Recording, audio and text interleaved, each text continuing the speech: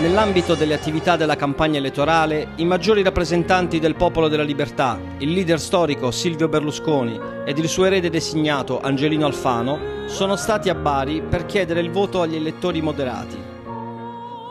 Una grande e straordinaria partecipazione al di là di ogni nostra più rosea aspettativa. Ci dispiace per i tanti che sono rimasti fuori, stiamo attrezzando uno schermo per far assistere a tutti all'intervento del Presidente Berlusconi. Non sbagliavano quelli che dicevano che la Puglia è una delle regioni contendibili, crediamo nel sorpasso, ci crediamo ancora di più dopo la giornata di oggi.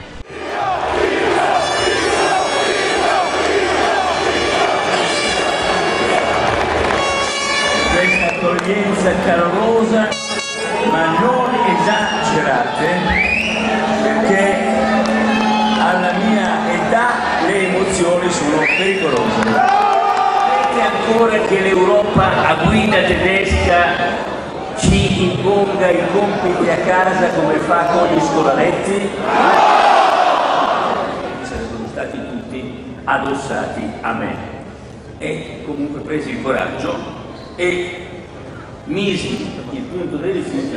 Noi lavoreremo per ridurre il costo della macchina dello Stato Quant'è il costo di questa macchina? Altro modo che ridurre le spese, ridurre i costi dello Stato. Bisogna lavorare in quella direzione e abbiamo ritenuto, riteniamo anche con l'esperienza che abbiamo, che se non si può arrivare al 30% si possa almeno arrivare ad una riduzione del 2% all'anno aumentando questa riduzione ogni anno a seguire finché in 5 anni si arrivi a una riduzione del 10 per non più di due legislature a partire da... Berlusconi ha tenuto il suo discorso al Teatro Tim davanti ad una vasta platea di persone, mentre Alfano è intervenuto lo scorso martedì nella sede regionale del partito.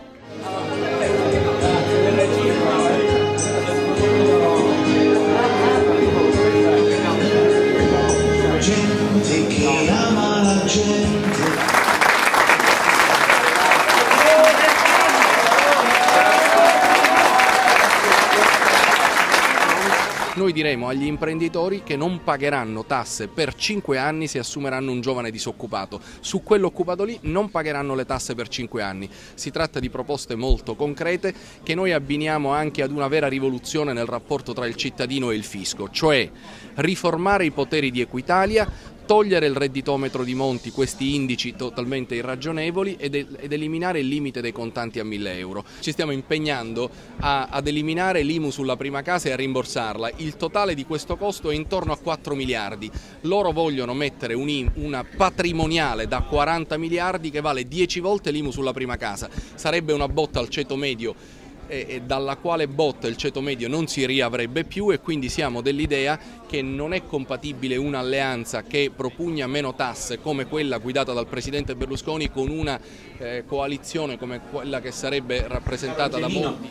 Si arricchisce non soltanto dell'affetto, della simpatia, della gratitudine, ma si arricchisce della motivazione, della passione e dell'entusiasmo rinnovato con cui gli amici, i consiglieri regionali, provinciali, comunali, circoscrizionali, unitamente a tutti i candidati, affrontiamo questa campagna elettorale con eh, determinazione, con convinzione, con recuperata fiducia sulla spinta dell'entusiasmo straordinario che è stato capace di trasmettere a tutti noi e all'intero Paese Silvio Berlusconi che qui a Bari qualche giorno fa